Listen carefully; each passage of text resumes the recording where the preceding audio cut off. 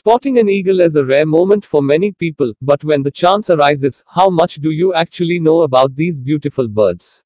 If you're new here, welcome. Be sure to subscribe and turn on notifications so you don't miss any of our videos.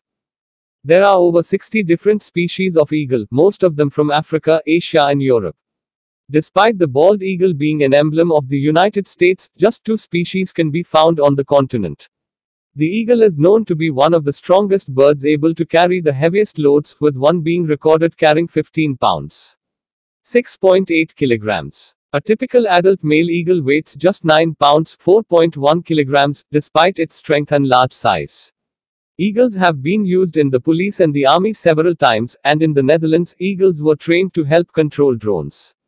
During the first half of the 20th century, bald eagles were considered a threat to the salmon fishing industry and over 100,000 eagles were killed. The eagle has long been considered the king of birds. A mother eagle will generally lay two eggs, although in most cases, one of the baby eagles is stronger than its sibling and will kill the weaker one.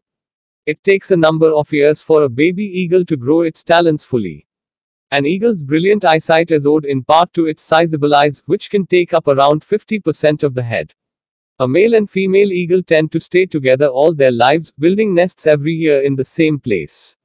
It's fair to say eagles are creatures of habit.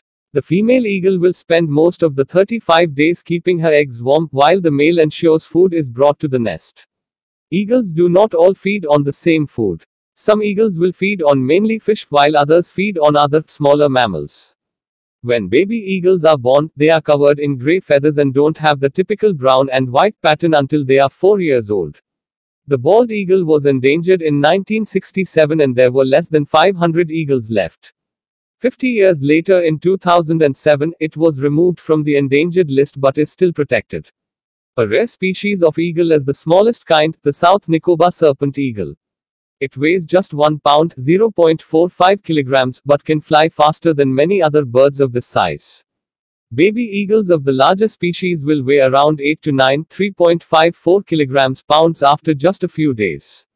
Report this ad. A martial eagle once killed a deer weighing 82 pounds 37 kilograms. This was despite the fact the eagle only weighed around 10 to 12 pounds 4.55.5 kilograms itself. Eagle feathers are in high demand across North America, but it is illegal to hunt or kill eagles and get them. Eagle nests are often very large in order to compensate for size of the birds. The largest recorded nest was found in Florida in 1963 and was measured at nearly 10 feet wide and 20 feet deep.